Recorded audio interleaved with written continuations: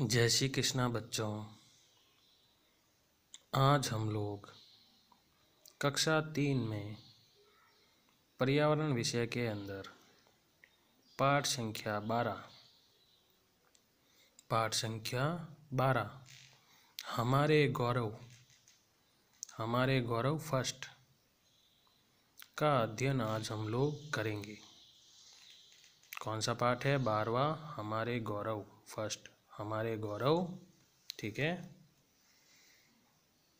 तो बच्चों, आज हम इस पाठ का अध्ययन करेंगे, ठीक है?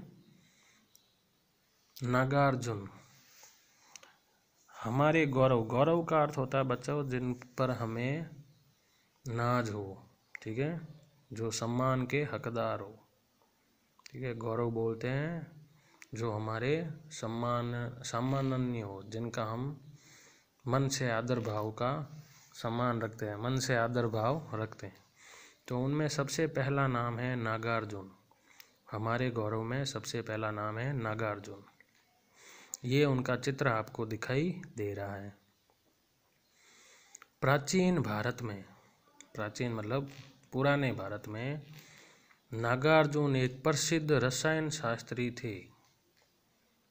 ठीक है ना बच्चों? नागार्जुन जो हैं, वो प्राचीन भारत में एक प्रसिद्ध रसायन शास्त्री थे। ठीक है? रसायन शास्त्री मतलब चिकित्सा क्षेत्र चिकित्सा क्षेत्र में उनका नाम था। ठीक है? जन्म से ही प्रतिभाशाली थे। वे जन्म से ही प्रतिभाशाली थे। अब जो नागार्जुन जी थे, रसायन शास्त्री वे जन्म से ही प्रतिभाशाली मतलब होशियार थे। ठीक है? प्रतिभाशाली थे। क्या थे? प्रतिभाशाली। मतलब उनमें उनमें होशियार, पढ़ाई के प्रति, विज्ञान के प्रति उनका ज्ञान गहरा था या उन्होंने उस पर मेहनत की। तो ये जन्म से ही प्रतिभाशाली थे। मतलब बचपन से ही वो होशियार थे। नागार्जुन, उनका जन्म छत्तीसगढ़ अंचल के बालूका ग्राम में हुआ।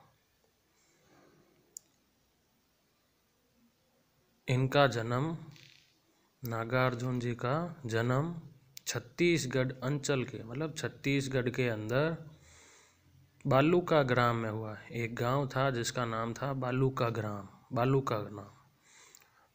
भालुका गाँव में इनका जन्म हुआ, जो छत्तीसगढ़ के अंदर आता है। उन्होंने वेद, वेदांगों का अध्ययन शीघ्र ही पूर्ण कर लिया था। नागार्जुन ने जो है, वेद, वेदांगों का अध्ययन शीघ्र ही पूर्ण कर लिया था। अब वो बचपन से होशियार तो थे ही, प्रतिभाशाली थे तो उन्होंने जो है, बहुत जल्द ही वेद और वेदांगों का अध्ययन पूरा कर लिया था। ठीक है बच्चों? नागार्जुन का जन्म कहाँ हुआ था? छत्तीसगढ़ के बालूका गाँव में, बालूका ग्राम में। ठीक है? और वह क्या थे? एक प्रसिद्ध रसायन शास्त्री थे। नागार्जुन जो हैं, वो प्रसिद्ध रसायन शास्त्री थे। इनका जन्म जो है, छत्तीसगढ़ के बालूका ग्राम में हुआ। कालांतर में नागार्जुन ने बौद्ध दर्शन का अध्ययन किया। एक समय में उन्होंने बौद्ध दर्शन का भी अध्ययन किया। वह बौद्ध मत में दीक्षित हो गए थे। मतलब बौद्ध मत में वो पूरे दीक्षित मतलब उस बौद्ध धर्म के उन्होंने सारे नियम कायदे अपना लिए थे। रसायन शास्त्र के क्षेत्र में रस हृदय नामक ग्रंथ में धातु कर्म पर कार्य का विवरण मिलता है। रसायन शास्त्र के क्षेत्र में रस हृदय नामक ग्रंथ में इनका एक ग्रंथ था रस हृदय। धातु कर्म पर कार्य का विवरण मिलता है। उन्होंने पारे को शोध कर उसका भसम बनाने की विधि भी ज्ञात की। नागार्जुन ने जो है, पारे को, पारा एक रसायन होता है, पारे को शोध कर उसका भस्म बनाने की विधि भी ज्ञात की। चिकित्सा के क्षेत्र में उनका योगदान उल्लेखनीय है। चिकित्सा के क्षेत्र में भी इनका योगदान, नागार्जुन का योगदान उल्लेखनीय है।